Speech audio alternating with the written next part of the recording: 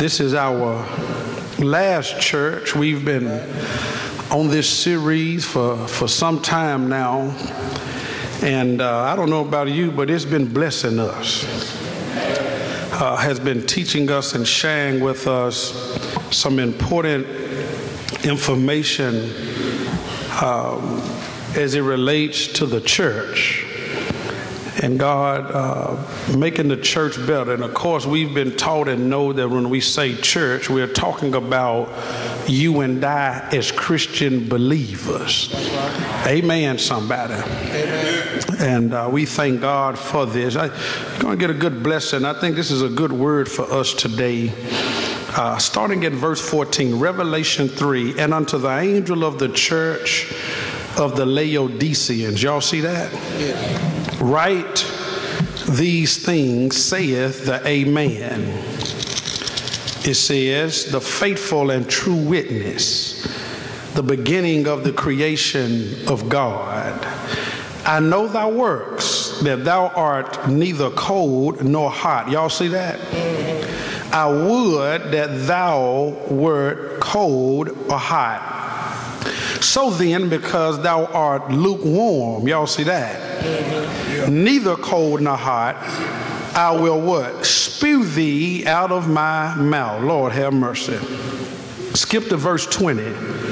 Behold, I stand at the door and knock, and if any man hear my voice and open the door, I will come into him and will sup with him, and he with me. Thank you so very much. Tell your neighbor, let the church be the church part seven. Beloved, one of the greatest lessons, one of the greatest learnings, one of the greatest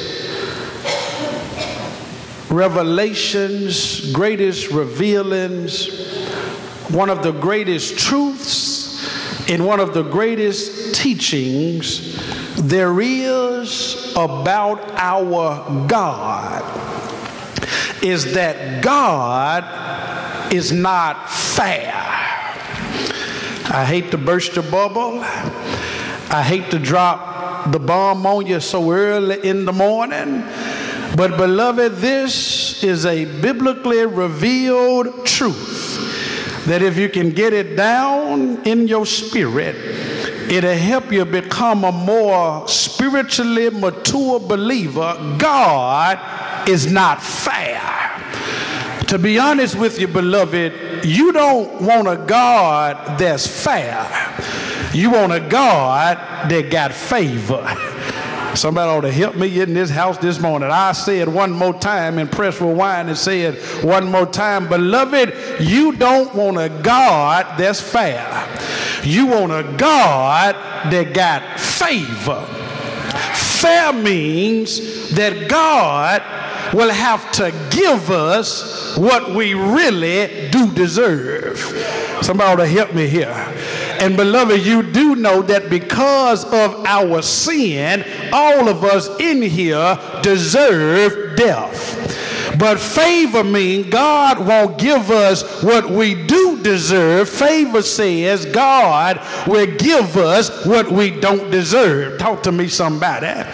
Beloved, I know you're sitting there trying to figure this puzzle out, but let me tell you again you don't want a God that's fair, you want a God that got favor. Fair means that when you had the accident driving your car, you was already texting and driving, you was already trying to eat and drive and had an accident. Fair says your car should have been total. But favor jumped in and said, instead of letting it be total, I'm going to let it be a fender bender. Fair says that when you went to the doctor, you just knew the doctor was going to tell you that you got cancer. You hadn't been eating right. Talk to me, somebody. You've been eating pork and fat back, ham, hocks, chitlins, neck bones. Do I have a witness here? I know it tastes good. Come on, help me, somebody. You been drinking what you shouldn't been drinking. Somebody may have smoked what you shouldn't been smoking. But when you went to the doctor, instead of them saying you got cancer, favor stepped in and said it ain't nothing but a cold. You ought to tell God, thank you. You don't want a God that's fair. You want a God that got favor. Fair means, beloved, that when your spouse found out what your secret really is, instead of them packing their bag and leaving, favor stepped in and said, I'm going to pray for you because I still love you. Do I have a witness here? Fair means that when you promise the Lord, Lord, if you get me out of this mess, come on, help me somebody. Lord, if you get me out of this mistake, Lord, I declare before God, I won't call them no more. I won't go over their house no more. I won't go down over there no more. Do I have any help in this house? And no sooner than when God brought you out, there you went. Do I have a witness here? Fair says God should have forsaken you, but favor stepped in and said, instead of forsaking you, I'm still going to forgive you. Is there anybody here that can give God praise this morning that you thank God that he hadn't been fair, but he sure enough has given you favor? Can somebody give God a favor praise in the house? Can somebody tell God, thank you, Lord? I know I don't deserve to be here, but I thank you for your favor. I know I shouldn't have the job that I got, but I thank you for your favor. I know I shouldn't have the spouse that I got, but I sure thank you for your favor. Somebody said, Lord, I shouldn't even be saved right now. But Lord, I sure know thank you that you gave me your favor. Beloved, I've experienced this before. I never forget when I was in high school, really it was seventh grade. Some of y'all saw my picture on Facebook the other night and uh, used to be in the band and we were in the marching band. And you know before uh, you play at the pep rally or a parade or the football game this before i played football in high school and you were in the band you had to learn the music in the class. Anybody know what i'm talking about? And and there was a problem in my class. The problem was in the band class was that i took the class with two of my best friends darren cato and vintez brooks lord have mercy the problem was all three of us were slap crazy anybody here took a class in school with some of your best friends Tell your neighbor, I ain't learned nothing yet. Talk to me, somebody. We, I mean, you clowned and laughed and played. Oh, anybody here know? Anybody went to a real school like I did? Anybody know what I'm talking about? And and and our band director name was Mr. Hardin. And Mr. Hardin had given us what's called sheet music that you had to learn before you could play it at the pep rally. And, and the first time he gave us a chance with the music, everybody lied and said we lost our music. He gave us another chance, tried to test us on the music, and all of us told another story. We said uh, we didn't understand the music. He gave us a third chance, tried to test us on the music, and everybody, we told another big story. Mr. Hardin, we don't like none of that music. He said, All right, don't worry about it. Next day was the pep rally. And at the pep rally, I mean, everything going well. We dancing and we rocking. The women are screaming. We over there trying to figure out how many phone numbers we go get from that side of the gym and how many we go get from the other side. Somebody know what I'm talking about. And all of a sudden, Mr. Hardin dropped the bomb on us. He said, horns up, let's play that song. Everybody looked around like, what in the world is he talking about? The horns was off. Saxophone was off. The trumpet was off. The drums was off. We made a complete embarrassment of ourselves in front of the whole school. And somebody here remember in seventh grade when you got embarrassed in front of everybody, you wanted to go hide up under your bed. Come on, help me somebody. And when we got to the band hall, putting the instruments up, my best friend, Vintez Brooks, if you ever meet him, he's always going to be the one that if anybody say something, Vintez going to be the first one to say something. Somebody had a friend like that. And Vintez yelled out loud as he could, Mr. Hardin, you were wrong for doing us like that. You know we didn't know that music. You know we weren't ready for that. And this where he messed up, Deacon. He said, Mr. Hardin, that wasn't fair. What in the world did he say that for? Mr. Hardin turned around like the Exodus. He said, Fair? You don't want to talk to me about something being fair.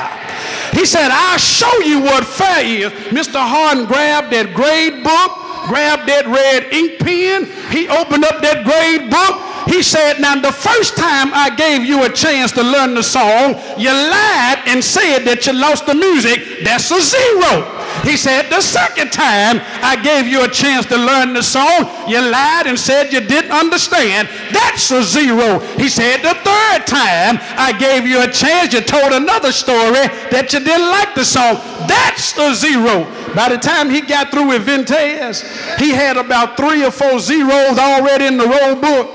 Mr. Hard turned around and looked at the class and said, Now, is there anybody else in here that want me to be fair? And one of my friends named Lenny Curtis in the back of the class yelled out, Mr. Hardin, don't be fair. We just thank you for your favor. Is there anybody here that can tell God thank you that you serve a God that wasn't fair, but he gave you his favor? Anybody here can tell God thank you for his favor? It was favor that woke you up this morning. It was favor that put shoes on your feet. It was favor that put food on your table. It was favor that kept your light still cutting on. Anybody here can tell God, thank you for not being fair, but your show gave me favor. That's what this text is about.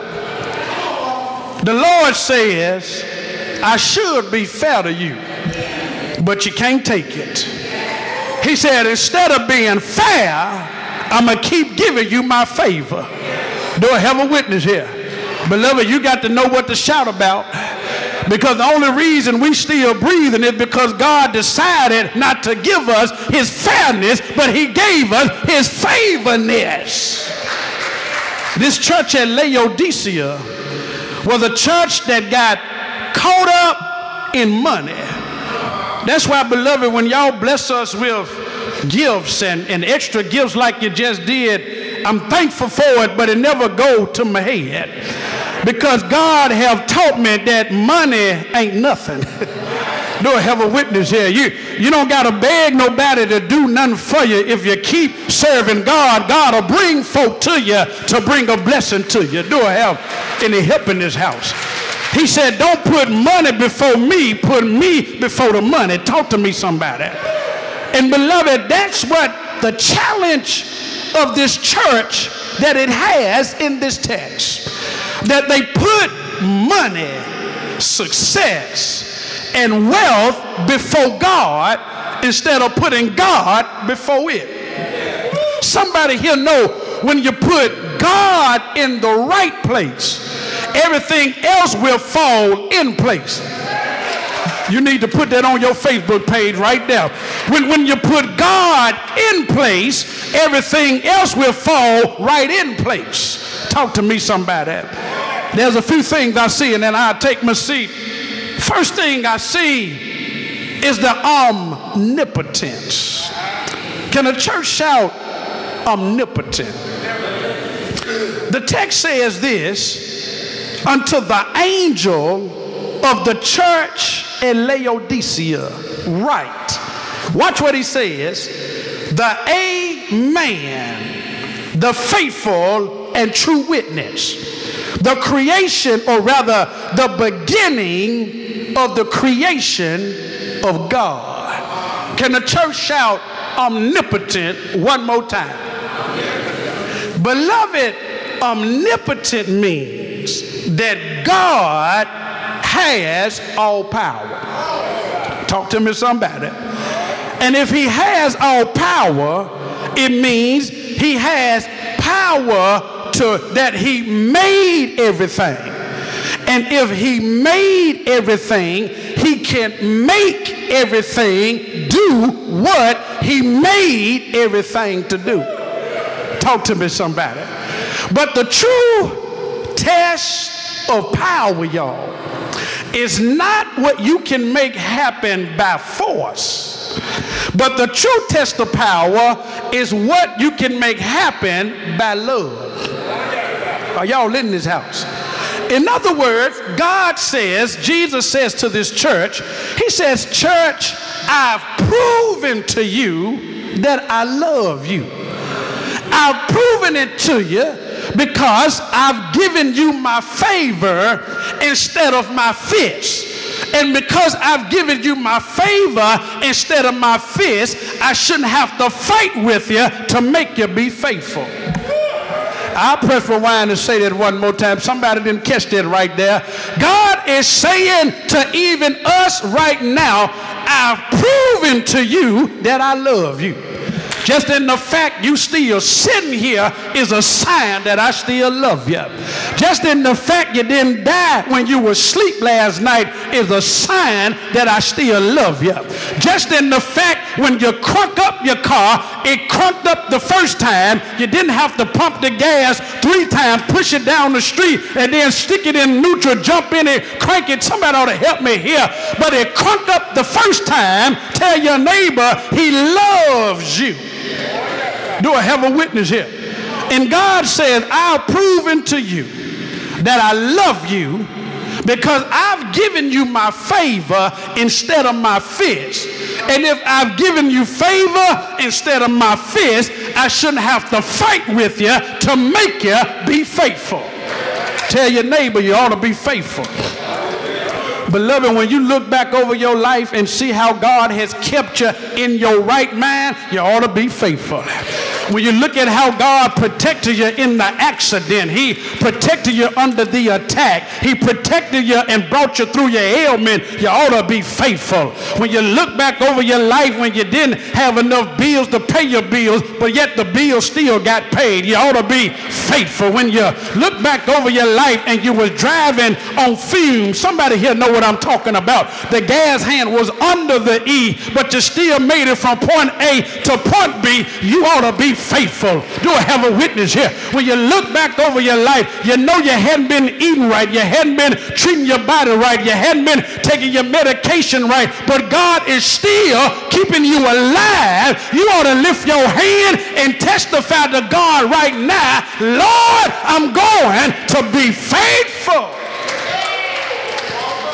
I see two things, y'all. I see temporary, but I see the truth temporary is this the church in Laodicea was known for money, success, and wealth.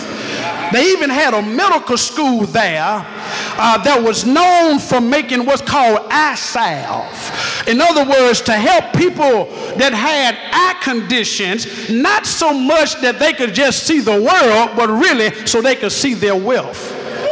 Somebody help me here. In other words, it's just like America, y'all. We live in a world today where if it don't make dollars, it don't make sense. Do I have a witness here? Snoop Dogg said, My mind is on my money, and my money is on my mind. Don't act too holy in here today. Do I have a witness here? 50 Cent said, I'm going to get rich or die trying. Talk to me, somebody. We live in a money driven, hungry world. And there's a lot of people in churches today, and perhaps even in church today, that's running after God for what he got in his hand over against what he got in his heart. But how many of you know when you get God's heart, you got access to everything he got in his hands? Are y'all praying with me? Our problem today in our world is that we got Gucci, but we ain't got God. We got polo, but don't have no power. we got Ralph Lauren, but don't have real love. You ought to help me here. Boy, have a, we got Air Jordans, but don't know the Almighty that His name is Jesus. We got Rolexes, but we don't have no real relationship with God. Tell your neighbor, don't get stuck on temporary thrills and miss out on your long-term blessings. Somebody shout truth. Look at who's talking. He says, To the church of Laodicea, I'm writing the Amen. The faithful, the true witness, the beginning of the creation of God. Jesus says one of my names is called the Amen. You thought Amen just meant right on. you, you, you thought Amen just meant I agree. Amen is actually one of the names of God. The name Amen is a Hebrew word that means truth. You do know Jesus is the truth about God. Jesus is God. God is Jesus, and God and Jesus is the Holy Ghost all at the same time. It's called the Holy Trinity. He says, I am the faithful and true witness. I am the true witness about God. If you want to know who God is, Jesus said, just call my name. If you want to send God a letter, send it to my address. Talk to me, somebody. He says, I am God. And then he says, I'm the beginning of the creation of God. Now, that's a play on words, y'all. That's really a prepositional phrase, which means the preposition of a noun and a verb, their relationship. The noun is creation, the verb is God. Talk to me, somebody. In other words, it really don't say, I am the beginning of the creation of God. Jesus says, I am God, the creator, from the very beginning. In other words, he says, I have the credentials to say what I'm getting ready to say. Y'all want to hear what he told the church? He said, I know your works. How many of you know he knows you? He knows when you're telling the truth. and he knows when you're not telling the truth. Come on, talk to me, somebody. He, he knows when you're giving your best, and he knows when you're giving him what's left. Are y'all in this house? Tell your neighbor, he knows. That word know is the Greek word eido. E-I-D-O. Epsilon, iota, delta, omega, simply meaning this. He says, I see you. Tell everybody on your road, he see you. Beloved, if we live our lives with that in mind, a lot of stuff we'll stop doing. Tell your neighbor again, he see you. Everywhere you go, he's watching you. Every conversation that we have, he's wa- are y'all are y'all in this house? He's watching us. Everybody will hook up with. Everywhere we go, sit down and eat. When you go to bed at night, when you use the restroom, tell your neighbor he's watching you. Do you know what it takes to see? Here's what it takes to see. Light generates in the atmosphere, form an image. Image comes through the pupil of the eye, the window. The pupil of the eye send the image to the optic nerve. The optic nerve send the image to the brain. The brain take the image, flip the image into a picture, send the picture back to the eye to tell the eye what you're looking at. In other words, you don't see with your eye, you see with your brain. Your brain is symbolic of your mind. Your mind is symbolic of your soul. Your soul is symbolic of your heart. Tell your neighbor, he's looking at your heart. And God wants to know who has a heart for the things of God. When will Jesus be number one on the agenda in our lives? He says, I'm looking at your heart. There's an old song that says, Your mind is here with me. Your body is here with me, rather. But your mind is on the other side. Somebody here know that song. That's what Jesus said. Your body is here with me, but your heart is somewhere else.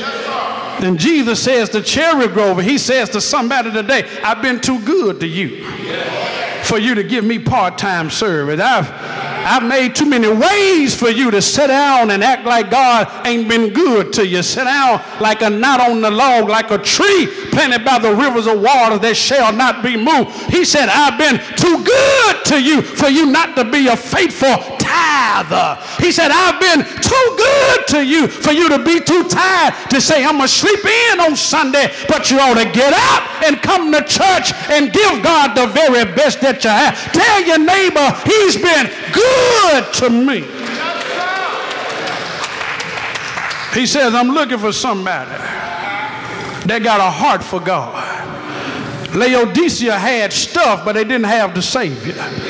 How many of you know stuff will run out on you? Your money, you ain't gonna be able to spend it all. I don't care how much overtime you work, you'll never make enough. Somebody ought to help your boy preach up here. I don't care how many times you work on your off days.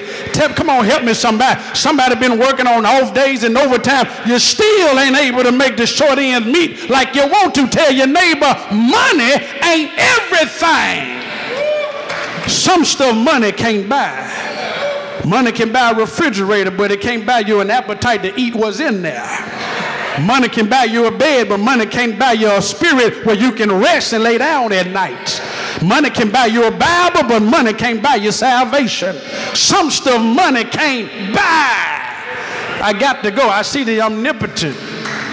But then I see the okie doke. Tell your neighbor, don't fall for the okie doke. That sounded pretty good, did it? Tell your other neighbor, neighbor, don't fall for the okie doke. He says right here, he says, You are lukewarm. He said, You're not hot or cold. He said, You're lukewarm, and I'll spew you out of my mouth. What a sad indictment. Words you don't ever want to hear from God that you're lukewarm, and I'm getting ready to spit you out.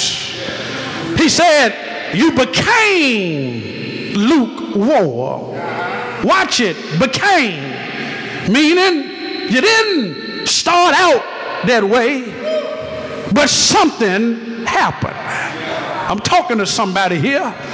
Somebody here, you used to be on fire for the Lord. Be the first one at church used to be the last one to leave. First one to give your money, the first one to serve, the first one to pray, the first one to pull out the scripture, the first one to help somebody. What's wrong with you now? He said, You made the mistake that so many have made. We allow the problems of life to let us burn out. We allow the storms of life, oh, come on, help me, somebody, to burn us out. Sometimes we allow the troubles and the tests and the tears of life to burn us out. Tell your neighbor, don't burn out. And I hear people sometime in church, they pastor, I'm almost burnt out. I'm in too much stuff. But listen, it ain't but a handful of folk. Come on, help me somebody that's keeping this thing going. You, you ain't got time to burn out. Do I have any help in this house? God have been too good for us to burn out now. It kind of remind me, and I'm, I'm, gonna stop. When when I like to grill, I, I like to grill. Uh, Brother Deacons, I like to grill wings particularly. And, uh, and if you know something about grilling, when you put the coals in the grill, uh, all of them start out hot like fire. But after they set, come on, help me for a little while. Some of the coals, they start to burn out. But if you're a real grill master like me,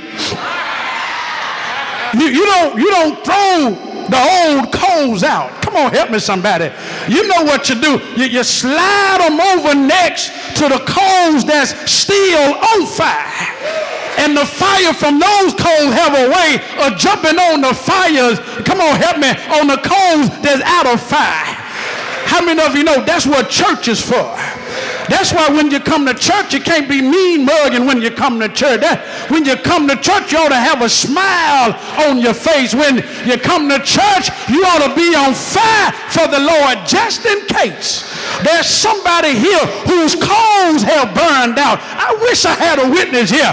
And they ought to be able to slide over and sit next to you, and the Holy Ghost is on you, ought to be able to jump on them and set the house on fire. Is there anybody here on fire for the Lord this morning? I said, is there anybody here on fire for Jesus this morning? Is there anybody here that got a fire burning on the inside for the Lord this morning? You ought to give God praise that you're on fire. That's enough. Deuces. I'm out of here.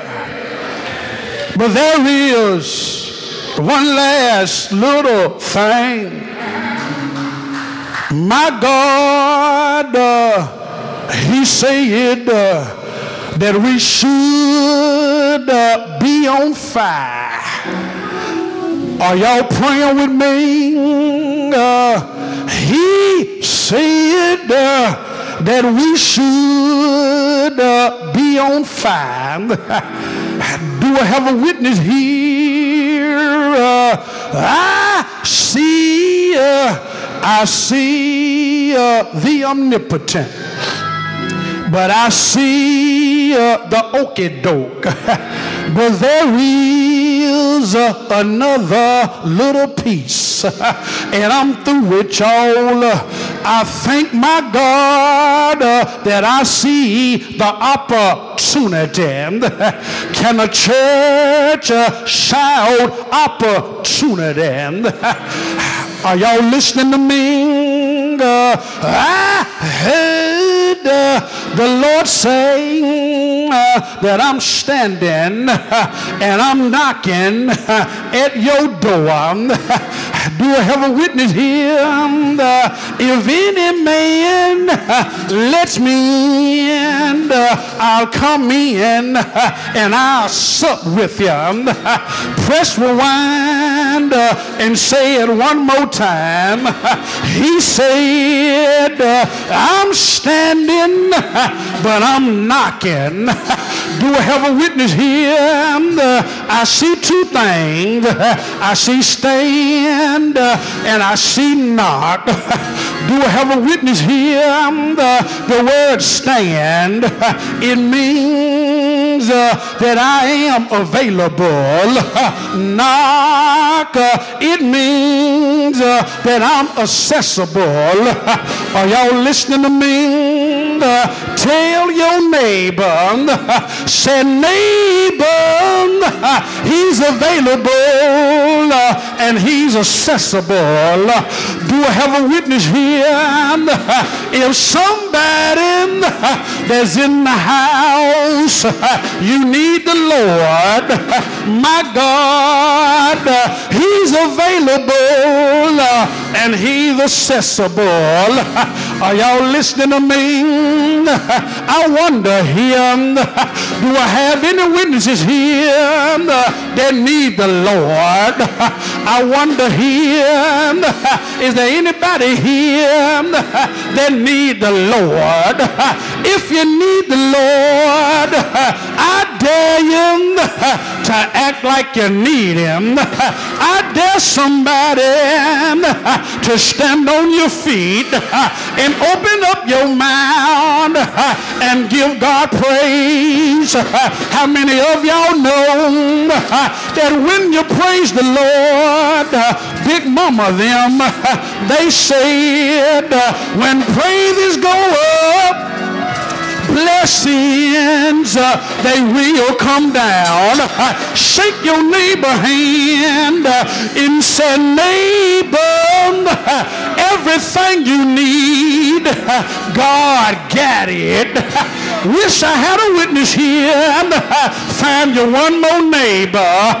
Find you one more neighbor and testify.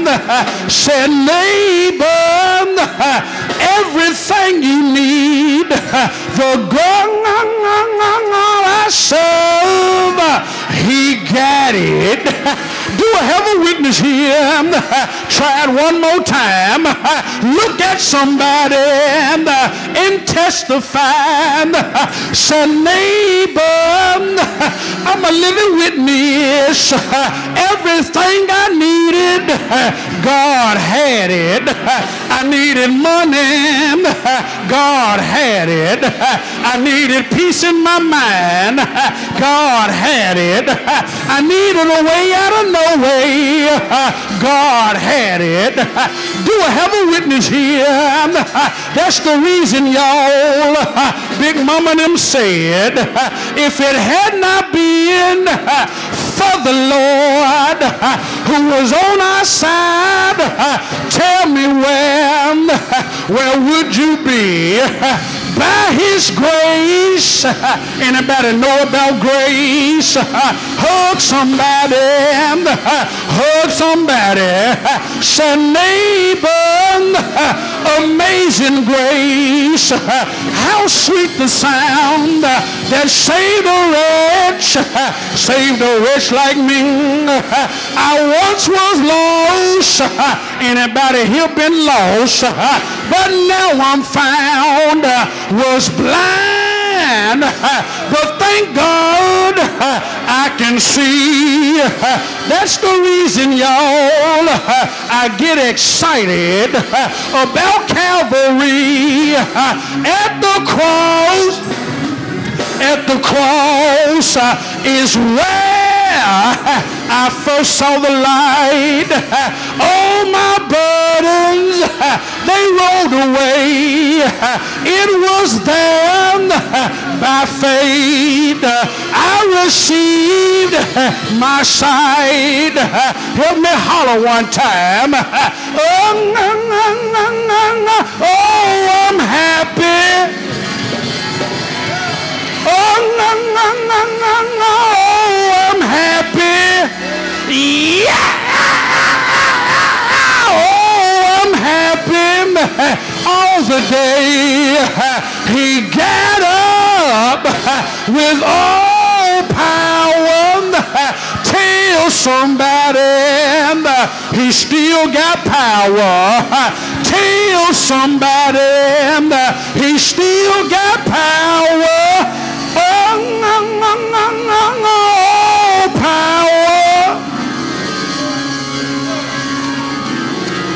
Yeah. Oh, power. Hallelujah. Hallelujah.